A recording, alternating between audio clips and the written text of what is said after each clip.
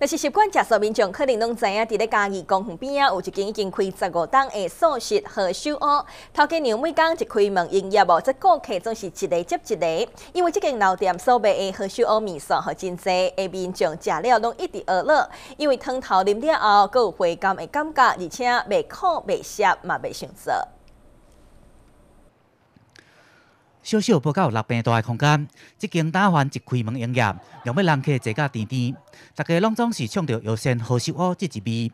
头家娘将烫好的豆菜芽、番薯叶放入碗内，接着搁放入细条面线。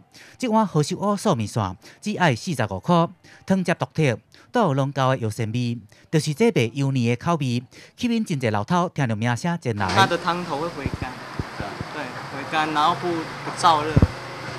你知道？它是素质的，知道啊，知道啊。对啊，它吃起来跟外面那个像荤的啦、类似的汤嗯，它的比较清爽，外面就会到最后是口干舌燥，要不然就是味素太多。呃，面线、干面都有吃过，都有。何首乌汤最好的。